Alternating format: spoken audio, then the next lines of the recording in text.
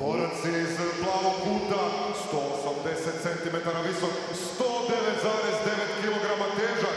Na- nastupa za tim Maximus iz Srbije, Ivan Vičić!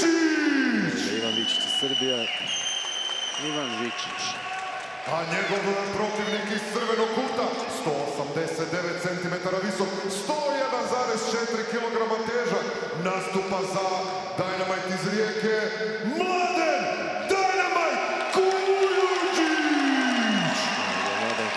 podrška, velika podrška za Mladena, da. gospodin Dejan Milošević.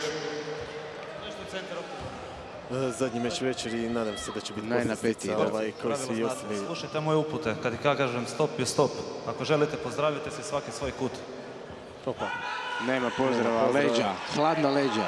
Ali možda će biti sad pozdrava. Tako Željko Joksimović kaže, leđa o leđa. Ne znam, ne znam. Ti...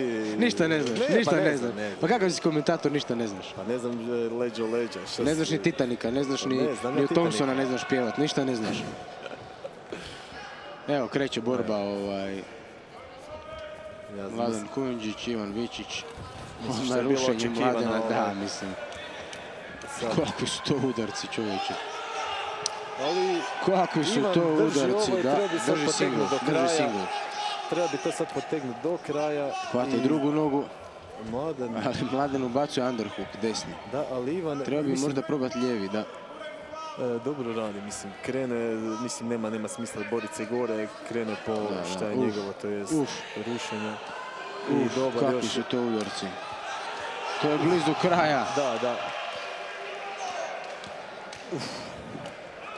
I mislim da će, ako To će ovako biti, ako nastavi, ovako, da. nastavi, ovo će biti kraj.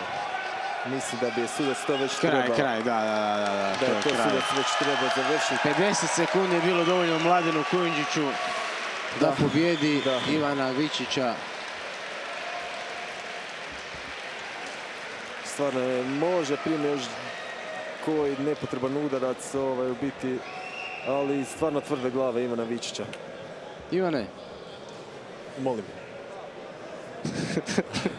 šta šta sad ide na molim? kaže, kaže.